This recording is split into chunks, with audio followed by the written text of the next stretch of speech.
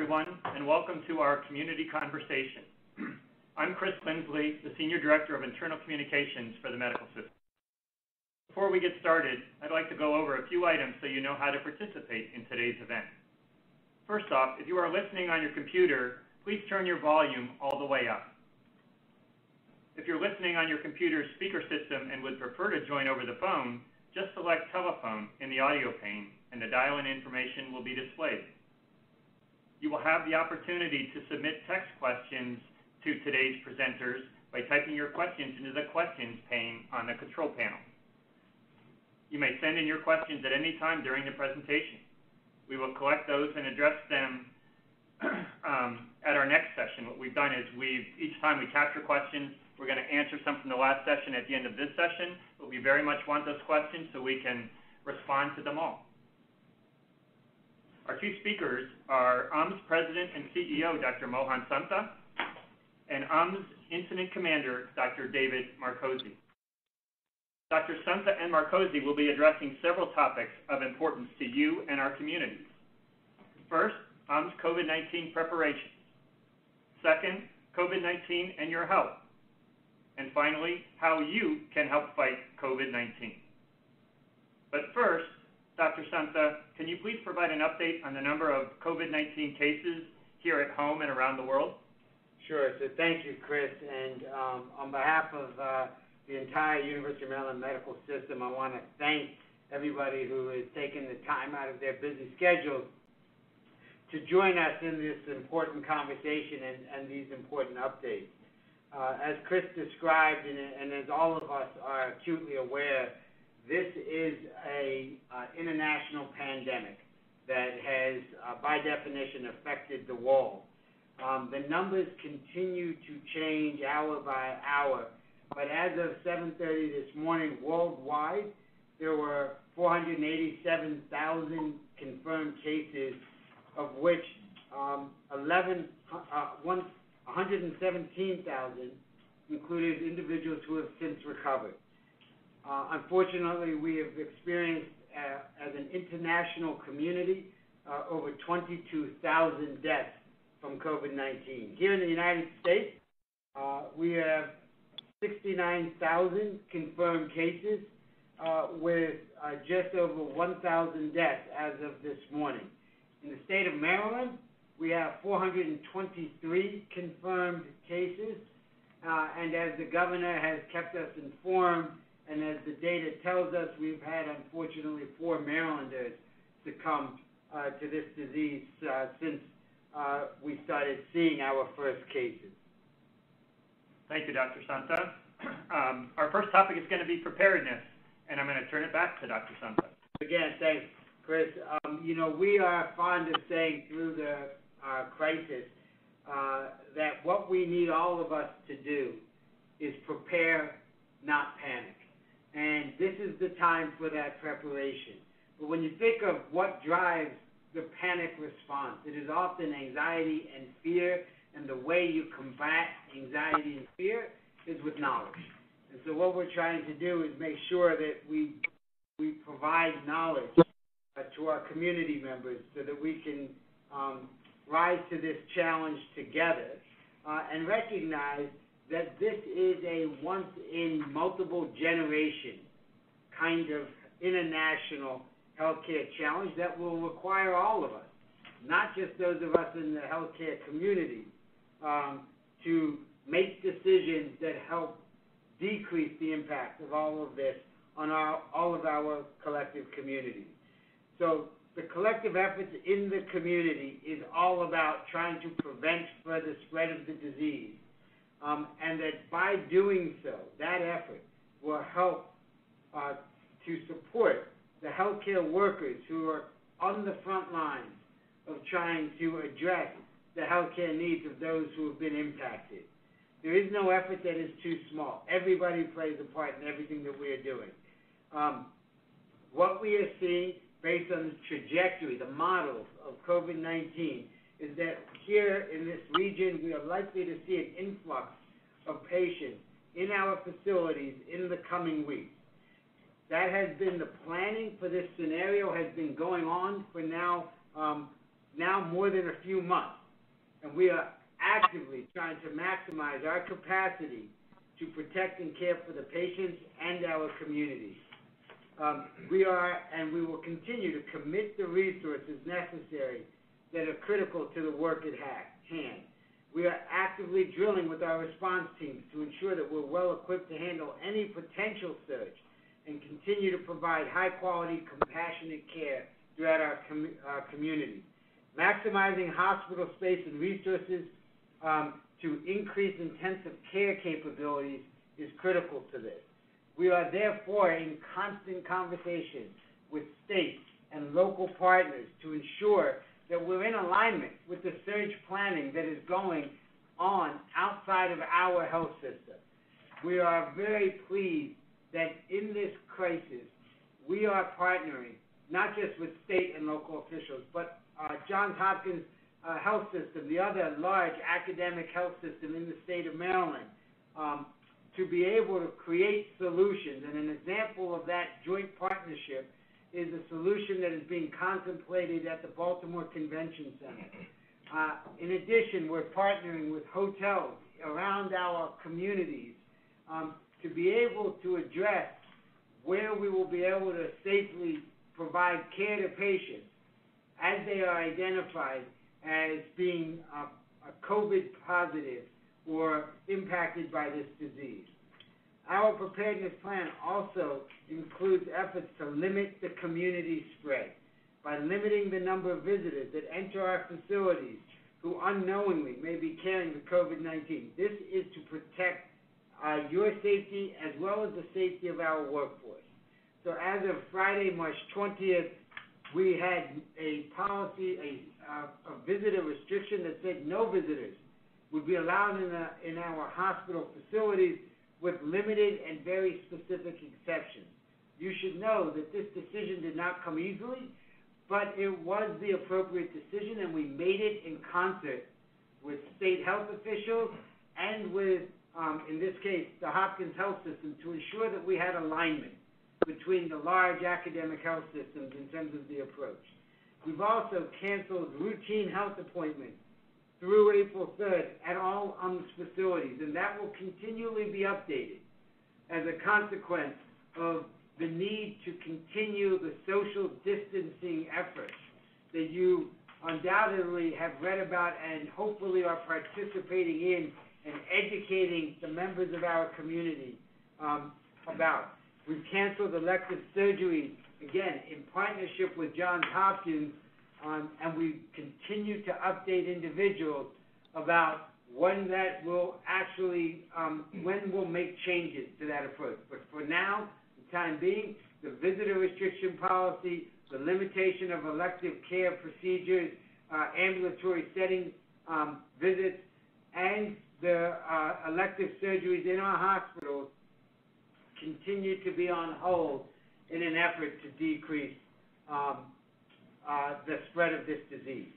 We are working hard to bring you up-to-date and accurate information. We're implementing protocols that have been laid out by the CDC at the federal level to provide the best care possible for patients in Maryland and our nation. So we're going to continue to emphasize, so please visit in the medical system's COVID-19 response page and check back often because one of the realities of this crisis is that we are learning from information that we are gathering not just from within the state, not just from within the nation, but indeed the world. And as we get that information, our policies and processes will continue to evolve in order to limit uh, the spread of this infection. So, in terms of information that is important, most people, most people who are infected by COVID-19 will experience mild symptoms. Those symptoms can include fever, cough, shortness of breath. Based on the evidence that we have so far from the worldwide data, older adults and people with chronic diseases are most susceptible to the more serious complications of this viral infection. But I want to make sure that as people hear that, we are not saying that young people are immune to this disease. Right now in the state of Maryland, uh, with the numbers that I gave you earlier, half the cases that we are diagnosing are in patients who are between the ages of 20 and 50. And so everybody should take precautions. One of the things that we are concerned about is that as we delivered the message about who was at risk, there are those in our community who heard that and believed that the message could be interpreted as, and therefore they are not at risk. And therefore their behaviors, um, could be different than the behaviors of those who we defined as being at risk. And this, what we are talking about is that everybody owns this responsibility. So again, it is really important that if you are having mild symptoms, mild symptoms, you don't come to the hospital as your first access point unless it is a healthcare emergency and unless you are concerned very specifically about your ability to care for yourself at home. First step is call your healthcare provider. If you do not have one or you cannot access your healthcare provider, there are also twenty-four seven, we've set up a nurse hotline to talk to a registered nurse about your symptoms. And that will helpfully provide information that will help inform what are the appropriate next steps. Um, we are asking all of our communities to not go to the hospital or call nine-one-one unless it is truly a healthcare emergency. Because at this time, it is important to know that only healthcare providers can or, can order the COVID-19 testing. It is not an appropriate test for everybody. And right now, in the state of Maryland, we are required, all healthcare providers are required to follow the CDC, the federal guidelines for who is in fact uh, eligible for testing. So we continue to work with our healthcare partners within our system and around the state to expand testing capabilities. An important point for you to appreciate is that as the testing capabilities in the state of Maryland improve, you will see a rise in the number of cases. And there's a balance to how you interpret that. There is a balance because we know as we test, we will find it more, but we also know that the work we are doing around social distancing, as you see the rise, it does not tell us, it does not tell us that the social distancing efforts aren't working. We do have to continue that effort because only when all of the surge is done and only when we get to the backside of this will we be able to communicate factual information of the benefits of social distancing. But we know from history the impact it can have. Um, so now I'm going to turn it back over to you, Chris. Thank you, Dr. Suntha. Our next topic is what you can do to help. And I'm going to turn it over to Dr. Marcozzi. Yeah, thanks, Chris. Dr. Suntha, I'm, I'm honored and privileged to be speaking to our community partners this afternoon uh, about obviously this growing threat to our community and our state and our nation. Um, it's, it's, it's important to recognize that we're all partners in this, and then we can all be virus fighters, and we can fight back against this virus. Each of us owns a piece of this response, from an individual in your home to uh, the folks who are in businesses to our clergy to our hospitals.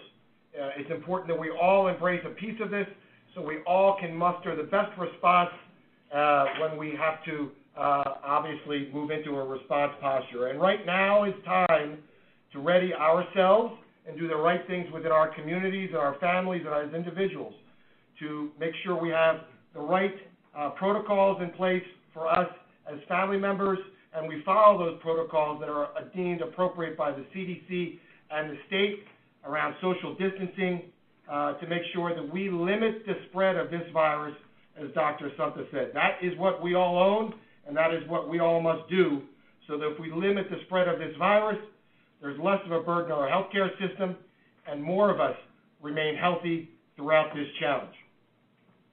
So let's talk a little bit about uh, keeping ourselves healthy, uh, making sure that we're able to uh, do the right things for our, our families, our communities, and ourselves to maintain our own health.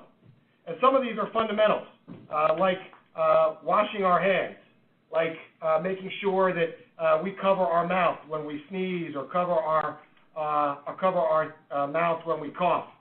These are the basics, but we need to recognize that these basics are gonna go a long way.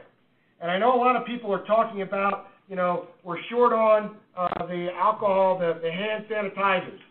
But getting back to the basics, there's good old soap and water. And there's not just soap and water, it's about washing our hands, not just for a short period of time, but as my five-year-old says, as he was taught in school, sing the ABCs. If we're able to sing the ABCs through our washing of our hands, then we'll make sure our hands are more clean. Because here's what's important. This virus sticks around. And it sticks around on everything. On tables, on doorknobs, on uh, countertops, in bathrooms, on toilets. So when we touch something, uh, we realize that we pick it up with our hands, and then we touch our face, and then obviously we get infected from this virus. So not only is sanitation of our homes, our communities, our businesses, our schools, uh, well, our schools are closed, fortunately, uh, but our businesses are important, but we do this inside our homes, and then we wash our hands to make sure we're not transmitting this between people. And that's what's key, and that's what this slide speaks to with regard to recognizing where this virus could live. And, and let me all let you all know, this virus is going to not just live for hours. This virus may live for days. So we need to make sure we're doing this regularly, and we're not touching something that we then touch our mouth or we eat something, and this gets transmitted to ourselves. And that ability to decrease the transmission is key right now so we can all maintain our own health. So let's be mindful for, for things like uh, for, for things like mental health. Because as we start to social distance, it does not mean socially isolated. Uh, and it's important to recognize that we need to stay in contact. We're human beings. And our clergy, our family members, our neighbors, all should be able to stay in contact with each other throughout this virus. And maintaining our own mental health is important. And we can do that through multiple different venues, whether or not it's through social platforms uh, or FaceTime or just a simple telephone. Uh, but it's important that we all stay connected because we're going to be going through this challenge together as a community, as families, as a, as a city, and as a state. And the more we'll, we stand together, the stronger we'll all be. So under that, I just want to make sure that we talk about a couple different resources. If you get to the point where you're thinking, you know, I really don't have anybody who I can reach out to, or I'm not really sure of who I should talk to, it's important to recognize that anxiety from this virus is high. And the more we stay informed and the more we understand the, vi- the impact of this virus, the less we'll have confusion and the less we'll have anxiety. The symptoms of this virus are very similar to a flu fever, cough, shortness of breath, sore throat. And here's what's key a lot of the people who get this virus are healthy and stay healthy, or, or don't have symptoms, let me say. That's a better way to phrase it, or who don't have symptoms. The concern is the people who don't have symptoms may be transmitting this virus. So, our fragile, our elderly, older adults, and people with chronic diseases are the most susceptible to this virus and can have serious complications. So we want to be very wary that we don't transmit this virus to folks who are very susceptible to this virus. It does not mean that young people are immune. Nearly half of Maryland's cases are between the ages of 20 and 50. So everybody should take necessary, necessary precautions. And the teenagers who think they're invis- invincible, they're not. They may not be, have mild symptoms, but they could transmit it to their grandfathers and grandmothers. So let's make sure that we embrace, all of us embrace the right things that we need to do to limit this virus. So let's turn it back to Chris for any further comments. Thank you very much, Dr. Marcozzi. It's now time for your questions. So again, a reminder, please submit your questions. Um, we're we're going to answer some questions from the last session, but we very much want to get your current questions so we can answer those in the next few days and get those back out to you. Uh, so we're going to start with the first question for Dr. Marcozzi. What advice do you have for people who live with at-risk populations, such as parents and immunocompromised family members? Yeah, this is what I was just trying to speak to. I think it's a great question, whoever asked it. So it's important to recognize that we recommend avoiding contact with individuals uh, who are potentially high risk. So who are high risk? folks who have comorbidities, who have COPD, hypertension, diabetes, heart trouble, those folks are at higher risk for having complications of this virus if they get infected. So it's important our children, or those who are younger, don't transmit this virus to those folks who potentially are of older age or have comorbidities. And the way we limit that is we don't, we stay, we keep our hands, hands clean, we cover our mouth when we sneeze or cough, and we stay about six feet from folks so we don't spread those respiratory droplets between those who potentially may have the virus and those who are potentially at risk from getting the virus. Thank you, Dr. Marcozzi. Uh, next question, also for you. What is the best way to quarantine a family member? Yeah, this is a great question. So it's, it's not going to be easy, and we need to all think about how to best do it within our own homes. And each of us needs to figure out how do we keep our most vulnerable distant and don't get exposed to this virus. So that means cleaning high-touch high-touch surfaces frequently. And before and after, every time someone who's potentially exposed, we, we, we, we keep those areas clean. It's also important to follow other guidelines, including, including covering your coughs and sneezes, or frequent hand hygiene, and making sure we stay up to date with the CDC website. Thank you, Dr. Marcozzi. One last question for you. Is UMMS going to start offering testing clinics? UMMS is currently evaluating options for testing clinics. The, procedure, the procedures for offering this service will align with the Maryland Department of Health's directive to make sure all testing is consistent with CDC criteria. We are also paying close attention to the state's plans to open testing sites at alternative locations and discussing this within UMMS to make sure that everyone has the ability to, to, to, to, uh, uh, to go to these sites. Thank you, Dr. Marcozzi. I'm now going to turn it over to Dr. Suntha for some closing thoughts. Okay, so again, I want, I want to make sure that we thank everybody for taking the time out of your incredibly hectic schedules right now uh, for this uh, informational update. Again, the goal that we as a health system have is to be a partner in our communities and to be a resource. And what we're trying to do with these updates is to provide um, you all as leaders in our community with information that you could then disseminate. Uh, the whole idea for us is to get to as much of our community as possible information that helps us all collectively prepare. So you've heard information about the value of social distancing and how maybe best to try and address some of the challenges associated with that. You've heard a bit about um, the information regarding testing that I'm going to ask everybody to continue to stay vigilant as information becomes more available. Uh, as we evolve our testing capabilities, you're going to hear that our evolution will go from hospital-based uh, uh, testing, where we are testing those who come to us um, who are significantly symptomatic at the time of their presentation, to ultimately being able to test in the community.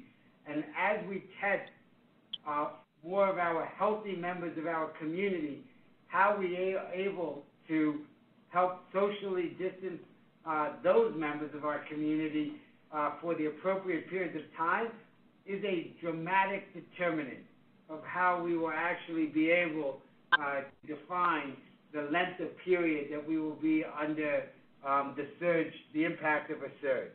Uh, we continue to, um, uh, one of the other things I will tell you that um, as leader of this healthcare organization, I am honestly sometimes surprised to hear a question that comes my way not infrequently.